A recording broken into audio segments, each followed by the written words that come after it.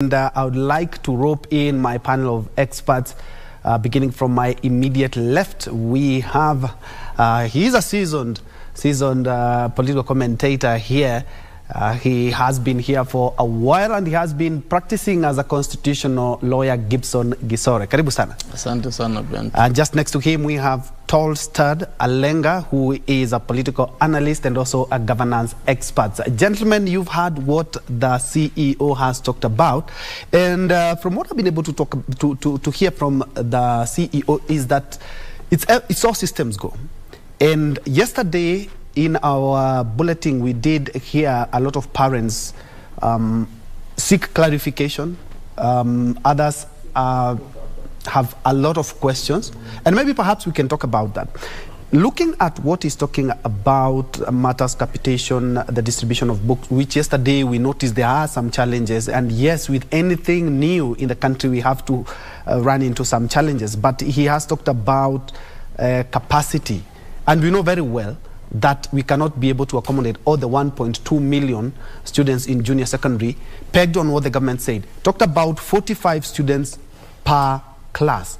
But what we are seeing and what we've been able to unearth as KBC is that uh, some classes, are in, some schools are, have to take more than the recommended 45 students. I would like to, you to, to, to touch on that. Sorry. I, I think uh, these are interesting times, uh, Ben Troy, in that uh, we are trying to usher in a new era, which has never been there before. So uh, I like the optimism, optimism expressed by the CEO of KICD because um, I think the way he's speaking is speaking as a policy maker, mm-hmm. and uh, of course uh, that being CBC being uh, a curriculum thing and it uh, is in his domain, uh, he has every right to speak as much. But that same sentiments I don't think are shared across the country. Mm -hmm. I think from a policy perspective, he feels that he has done that which is supposed to be done. Mm -hmm. but you see issues logistics, issues capitation, those falls under different realms. Mm -hmm. So those are supposed to be administrative issues which are supposed to be carried over by the ministry and, uh, of course, uh, implementation. Mm -hmm. So for him, I think he is a right to speak as much as he is speaking because mm -hmm. for for delivery, I think he feels he has delivered. But uh, you know, there is that bit of uh, the, the, the end to end. Mm -hmm. I think that's where the challenge is, mm -hmm. in that we need to see the ministry also coming in place in, and uh, playing a key role, ensuring that the books, I think the minister was distributing books yesterday. Mm -hmm. uh, if those books can be able to reach every destination of this country, and then of course maybe the challenge of uh, the I mean parents are complaining that they are being asked to pay uh, fresh fees. They are being asked to also pay some 20,000 for registration, which they are not even given a breakdown of what is this 20,000 going for. Mm -hmm. If we could be able to get clarification on those, and I think it will come in due time, but the minister has been uh, very emphatic that uh, you should not charge people any money because you've given money. Mm. But you know, Kenyans are Kenyans. Mm. Uh, mm. They will always want to cut corners. They will always want to take advantage of, uh, of vulnerable parents because they are very vulnerable. Because you don't want to go back to home with your kid that you will not be able to raise the money you are asked to raise. So that is the challenge we are facing, and I think with time it's going to be dealt with. Mm. So, but for now we have a challenge, which of course uh, people have to speak out. If they don't speak out, then we don't get to know where the the problem is. So, mm. I think it's a fair discussion we are having, and uh, we are going to see as we go forward uh, better decision making better logistical issues uh, being uh, solved mm -hmm. and the books getting to school and the kids getting to learn. I think after the first term and the second term might be challenging, but I think eventually it's going to be okay. Yeah, and Alenga, we've seen that um, there are a lot of challenges, and especially when it comes to infrastructure. And the government is talking about 15,000 capitation, and 25% uh, of that, or 4,000, is supposed to go towards the infrastructure. And uh, we're talking about labs, talking about classes. And we have seen the World Bank, the government wants to partner with the World Bank in terms of how they are going to be improving the infrastructure. And I believe this is something maybe we could have tried a little bit earlier because the, the, the train, as we have said just now, has already left the station. These are the, the PPPs, or the, uh, the, the partnerships that the government is seeking now, I think it should have come a little bit earlier. But well, we welcome any support that we can get to make sure the J, JSS, that's the junior secondary, uh, kicks off well. Well, Troy, in my opinion, I think um, there's, there's usually, um, it's always there, there's no wrong time to do the right thing. Mm -hmm. So mm -hmm. if um, the government is coming in with uh, partnerships from um, uh, other communities around the globe that are interested in finding education here, that's a good thing. However, um, we also want to look at our own setup and how prepared we are for the changes that are coming and what are the attendant issues in terms of um, onboarding into this JSS. Mm -hmm. um, first and foremost, um, for me, in my opinion, I think uh, the junior secondary school is a very fantastic idea whose uh, time has come indeed because uh, it offers you that um, break of monotony of like you know previously we had uh, kids going to primary school for a whole eight years so within eight years and this is a child who joined that school maybe at the age of four years they do not really have um, something to look up to like they don't have short-term goals to, mm -hmm. to to drive them mm -hmm. and now if you know you're going from um, from grade one to six then you will sit an examination you know that's a bit of a, a, a, short period to plan yourself as a child and then thereafter you're going to do another three years. So it doesn't look like a blocked eight years the way it was previously. Mm -hmm. and then you're just going to school by faith hoping one day you'll finish class 8 and go to secondary school. Yeah. so it was really tiresome for the kids and you know that repetitiveness of the same thing all through. Mm -hmm. the same teachers the same friends. So when we have that uh, JSS and maybe probably kids are going to come from other schools, you'll build new friendships, and then it continues to build on the child's personality mm -hmm. and abilities. Then uh, number two, uh, we must admit that uh, this is a change that is happening and it is um, it is it is a, a system a system change. So it will take time. We must we must be alive to that conversation that it will take time and we must be able to be willing to go through that process. The teachers the parents and the students alike are going to be part of that change that is taking place. I, I think this must have been the same thing that happened when we were um, changing from 763 to 844. Mm -hmm. I, I, mm-hmm. think by that time the, the challenges were even bigger. I have met people who told me that um, they didn't have even textbooks to read. They were reading 763 uh, textbooks anticipating an 844 examination. Mm -hmm. And the year around 1989 and 90, mm -hmm. there was very minimal people that were passing exams because of that particular change. Mm-hmm. But today I think we are a more informed society. We are more open society mm-hmm. and uh, there are maybe better opportunities that are existing today that didn't exist by then. So we should take advantage of that. But most importantly, um, let us not put the whole burden of uh, JSS transition to the parent because mm -hmm. I have seen some parents who are having a lot of complaints because um, they've been asked to pay others to the tune of 20,000 or mm -hmm. 30,000. Mm -hmm. So I think uh, I, I agree with uh, Wakili's point that um, Kenyans have this queer habit of um, of becoming of capitalizing on changing moments mm -hmm. to you know extort others and you mm -hmm. know make make a kill out of it mm -hmm. so you'll find there are some people who have already maybe lined up with schools in terms of selling uniforms they will say that we are selling this uniform at this much and mm-hmm. you know it sort of seems to be a blocked figure so mm-hmm. even if you went to this vendor they have already talked all of them if they are charging a blazer mm-hmm. at 3000 they are all charging it at 3000 so let's understand that it's about our children it's not really about the profits we are making, mm -hmm. but it's about our children, giving them a future that is enduring. Mm -hmm. Indeed. And uh, uh, Wakili, you will bear me witness that, of course, we are alive to the fact that there are a number of challenges uh, with the JSS. And the minister, the CS yesterday was quite categorical that you do not charge, schools do not charge, do not charge any registration. But we know how that's going to pan out. But away from that, we are also alive to the fact that there's massive sh uh, shortage of teachers and even the TSC, the Kenya National Union, and all Kenyans, we have agreed, indeed, mm. we have a challenge. And that is why the government came up with 30,000 teachers. But even TSC itself says that this is just a drop in the ocean. And not only that, we have um, vetting of schools so that we may know exactly school A, B, C, D have, um, ha, ha, can now admit junior secondary schools. Are we slowly picking pace, or should we? At this moment, the government should be quite keen on these issues because at the end of the day, the 30,000 teachers, there's a time we were doing a simple mathematics and we saw that there are some counties who, who would not. If we have to divide them equally, there are some counties who will not get Any enough teacher. teachers or any teacher as well. I fully agree with you, Ben, and uh, I mean, thank you for that question because it's a question which has been uh, uh, discussed in the academia, uh, academic elite, of course. To uh, I mean, you're talking of junior secondary. What what is this junior secondary? Uh, is it being taught by? I mean, there was an issue that it's going to be based in secondary school. Then later they said it's primary school, and there is that aspect that uh, the high school has lost a class, mm-hmm. so it's going to have a lot of teachers who are not going to have enough workload. Yes. So do we get these teachers to come and teach primary? Mm-hmm. Because now that the junior secondary has gone to the TSC itself is also having the challenges as to who teaches here, mm-hmm. what is their terms of engagement, what is their remuneration. Those are some of the challenges actually we are being faced. A friend of mine was actually involved with the coming up with the policy for TSC.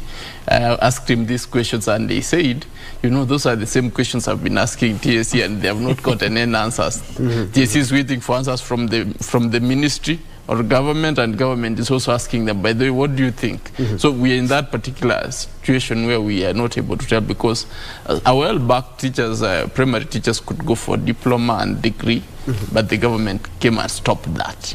So when it stopped that, people stopped and actually stopped promoting them. Uh, so when that happened, it became a disincentive. But now they're saying if you have a diploma or a degree and you're in a primary teacher, you're actually going to be the first person to teach junior secondary. Are the terms going to change? Uh, what are the engagement terms? Uh, of course, the curriculum is out. I think that's what I think the CEO is talking about. That one is out. But what they're the- not telling us, who is going to teach? How many are supposed to be teaching? Because there are around 14 units are here. Which will, of course, be a lot of work. Who are these teachers? Do you train primary teachers to come and teach, or do you get the secondary teachers who have actually left, uh, uh, who don't have enough work at the high school to come and teach? Who is going, because they're, they're being domiciled in a primary school, they're here, they're going to have even different board, board of management. So having a different board of management within the same institution, are you still going to have the same headmaster answer to two boards? Because those are key challenges which uh, we've not been told. So if we're going to look at this thing wholesomely, uh, the government needs to come out. I think we need a lot of stakeholder engagement, a lot of public participation, which ought to have been done before because initially the idea was to be in secondary, but all of a sudden it changed to primary. That idea, the moving from secondary to primary, of course, I think is a good idea. Uh, after parents said we can't let our kids be, who are very young, to be so far away. So that actually is an aspect of public participation which brought to the fore a challenge which was live within this particular idea of CBC. And government should engage more with the parents and teachers to actually be able to find a roadmap. Because now it seems everybody is trying to run his own race, and we eventually want to win the same prize, and that is going to be a problem. And uh, we are hoping that uh, we get this answer sooner. I hope uh, the ministry will uh, be able to call upon all the stakeholders to a conference and be able to come up with a conference paper and agree on. The way forward or a common policy because TSC is busy doing its own policy on the side. Uh, curriculum development under KICD, you've had the CEO speak uh, very confident that for him he has done his bit. The ministry is, is being challenged with issues of logistics.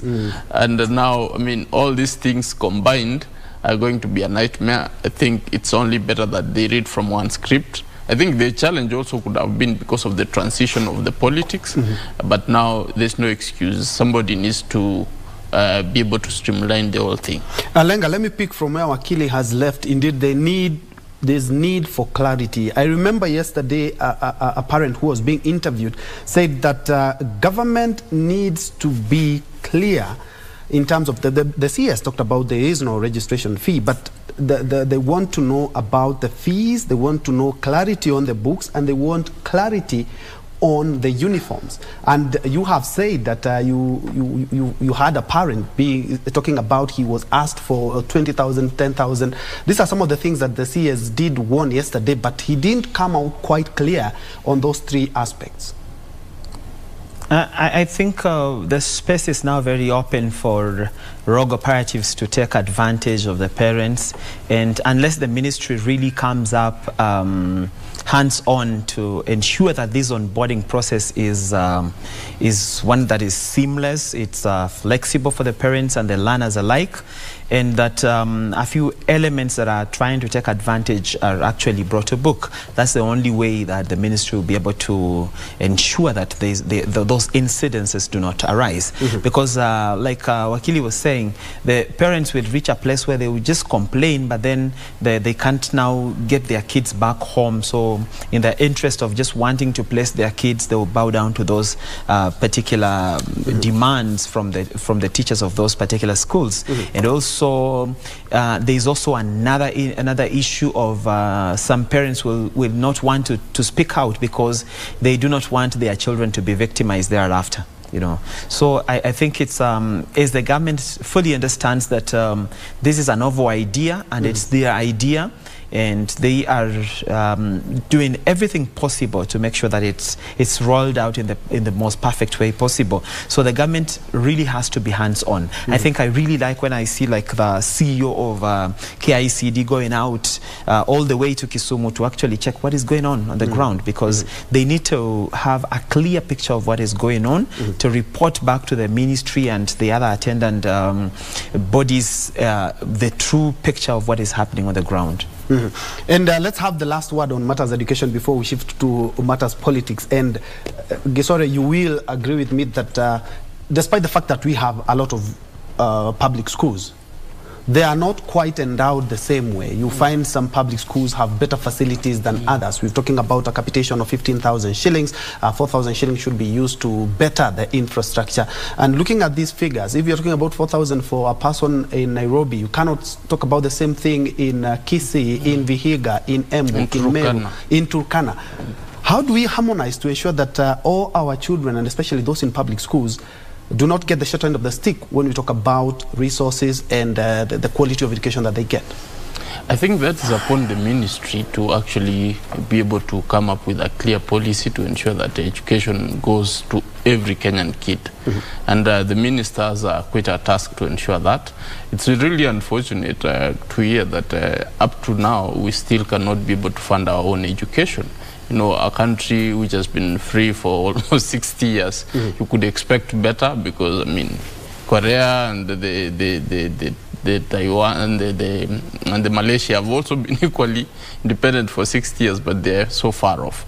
So there is something wrong which we have been doing because right from the time of independence, I watched some clip uh, way back. I think I saw the former the former first president of the country was talking of uh, World Bank funding and uh, and doing 300 uh, school, classes uh, for, for, for the country. I mean, we cannot be talking about the same thing, but nonetheless, we need all the help we need, as Alenga said, mm -hmm. uh, that uh, this is a very good uh, move that uh, we actually need uh, the World Bank or the stakeholders to come and help because the ministry is, seems to be impaired or we do not have enough uh, fiscal amounts to ensure that uh, we have enough classes across the country. Magoa tried and I think he did a couple of classes within a short time. If the same spirit could be continued, I think within a short time we would end up with enough classes. Mm -hmm. Uh, it's only that uh, in this country, for anything serious to happen, we need uh, donations from a diff- from from uh, an international body or a different country, which is really very sad, and that bothers me a lot, because uh, even the courts, you know, the judiciary, uh, the constructions of these big courts you're seeing around, is not uh, through the government exchequer; it's actually through the World Bank. So that's where we we are seeing those very nice infrastructure. But um, what I believe that the World Bank, whenever they come in, they ensure that uh, there is standard work. That is one thing. That uh, the standard of the contractors and there is delivery. Uh, that we can be sure, as opposed to we give to Kenyan contractors who are operating with the ministry, of course, we may not end up with any class at all. So it's a positive thing. it's a positive thing, and uh, I think for checks and balances, we assure that the, through the World Bank, we are going to have enough classes, and we need to thank them anyway because uh, now we are at their mercies. We just need to work and hope for the best. Indeed. Thank you so much. And uh, That is where we wrap it up. When you talk about matters education, of course, we will keep a keen eye on uh, what goes on today. The junior secondary did begin yesterday. And uh, if you ask me, it's, it's a good diversion from the politics that we have. And for the last one week, we've had some quite explosive politics. And that is what we are going to be discussing when we take a quick break together with Gibson Gisore, who is a constitutional lawyer, and also uh, Torosterdt Alenga, who is a governance and uh, also a political analyst. We'll be attacking all that, the politics of the day, the Azimio, and the government politics right after this short break.